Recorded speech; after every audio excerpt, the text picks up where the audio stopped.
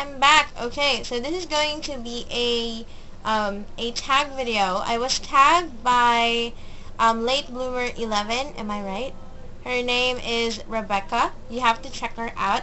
Oh yeah, I'm sorry if the background is very noisy. My brother is is having his fit right now. I don't know why, but he has it. So let's just begin. So this is the Filipino tag version 2. I've already done this, so maybe this is just going to be an updated version. I don't know. I want to make updated versions of videos. So yeah, let's begin!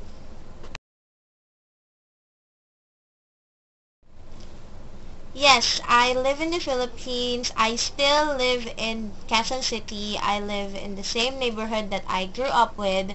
So if you know me personally, you would know where I live in Quezon City.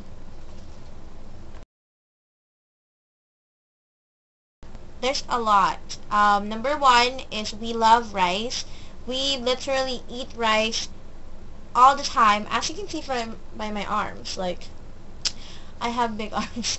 Um, yeah, we like rice. We eat rice for breakfast, for lunch, for dinner, even on snacks. Like uh, during merienda time, some people eat biko, which is made from rice cakes.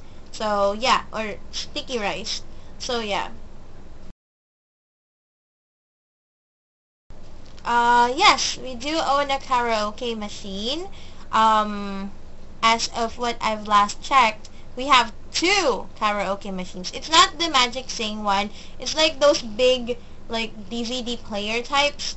Um, we were planning on getting the Magic Sing, but then we've thought about it. Me and my brothers thought about it, and we're like, we can just sing using YouTube, right? We can just get the video from YouTube, then connect it to the television.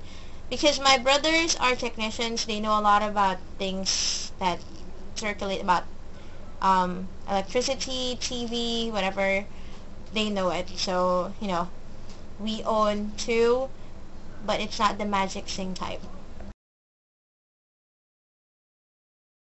Oh god. It says here, sing your favorite Filipino song. Yes, sing. So if you girls know, I do sing cover songs, and I'm going to shoot this song, um, this song that I'm gonna sing, um, later on. It's from Lani Misalucha. That's one of my favorite songs. I have a lot of fav favorite Filipino songs. And the one that I like from Lani Misalucha is Bukas na lang kita, Bukas na lang kita mamahalin. And it goes like this. Bukas na lang kita mamahalin Sabay sa paglaya ng ating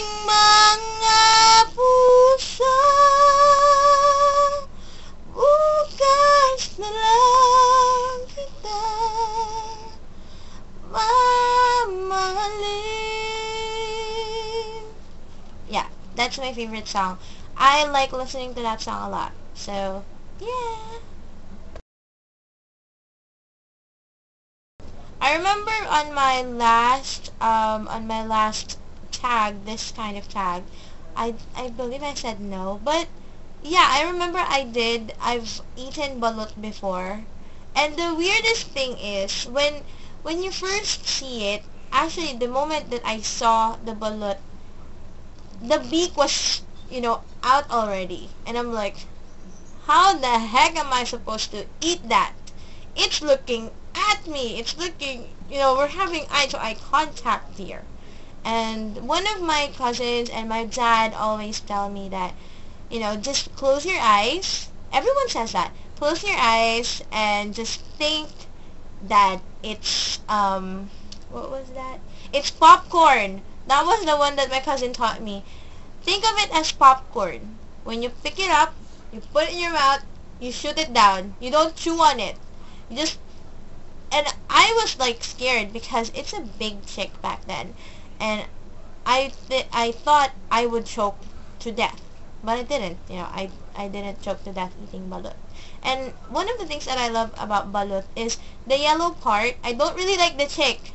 I don't like it. Seriously. I like eating chicken, but not that kind. I like fried chicken, I like grilled chicken, but not the one that I'm gonna eat a whole chicken. It's nasty, to my opinion. there are a lot of things I love I love about being a Filipino. Um, number one is the unity of the family. Because here in the Philippines, even if you're 46, even if you're 16, you're 18, you're 96, you still live with your family. Or, in, you know, in other people's cases, you live in the same compound as your family. So, you know, that's, that's one thing that I noticed, is that the family sticks together through, through thick and, thick and thin. Um, whatever happens, they will stick by you even if you screwed up so many times, even if they hate your guts, they will stick by you. That's for real because I have, um, you know, I have experienced a lot of, of things in my life and my family is there for me. And I love that about it. I love that about being Filipino because I was in, when I was in high school, I got into trouble and, you know, the first thing a, a parent would say is that, why did you screw up? Seriously, my mom said that to me. Why did you screw up? What? You know, we gave you everything. Why? Why? And I said, I don't know. I'm a kid. I told my mom that I was like 14, 15, 16 years old. And I told her, I don't know. I'm a kid. Why do you ask me that question? And after that, she said, okay, we're going to deal this as an adult. You're turning into an adult by the minute. Because I, I was I was like it was like my, my last years in high school. And my mom was like, okay, because you screwed up, that's okay. That's fine. You know, it's a minor setback. We're just going to fix it together, and we're going to go through this together. And that's one thing I love about this. Because they stick by you if you screw up, if you did something bad, if you did something wrong. They will stick by you like a glue. That's a Filipino family for you. I think the the Filipino time. That's the thing that I hate the most because I myself am a, you know, I feel bad because of it. I feel bad because I've done like I've you know done being late. I've done Filipino time so many times and I sometimes it's it's very disrespectful, especially when it's a business deal I try to make it as early as I can. And because now that I'm a blogger, I attend events, I try my best to be as early as I can because I know I've I know that the time is gold for PR managers and other bloggers. So I try to make it on time, but if I can't, I will say I'm really sorry, I'm late. And I try to be as professional as possible about it. Even at work, before when I started working as an online teacher, I was a little late yeah, I I was late a couple of times, but I, you know, I I changed my game and now I'm, you know, I'm kind of early for work. Like there's still like 30 minutes left before my class start. I'm there at work. So yeah, that's one thing I least um I least like about being a Filipino. We have our own time system. That's basically it.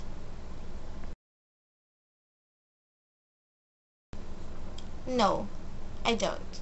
I don't know what it is about eating Goldilocks. I think Goldilocks is good. It's good to eat once in a while, but not every day. Because it's still fast food.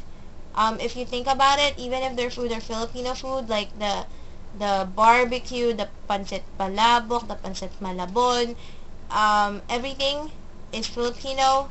It was made in the kitchen. You know, it's not deep fried or stuff, it's still fast food because some of it are ready-made and some of it contain preservatives. And, you know, I don't, I actually stay away from those now because I'm trying to lose weight. And I eat Goldilocks only when there's an occasion, basically. I don't eat it on a regular basis because it will be bad for you, I swear. It will be bad for you.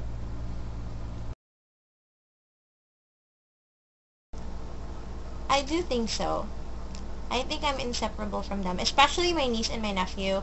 I adore them so much. Even if sometimes they're so, they're a handful, I love them to death. And that's the one thing I love uh, the most about my family is because um, even if I, even if my nephew and my niece are a handful, my mom don't do bad things to them. Like she she she she scolds them, but she also nurtures them to be a better person.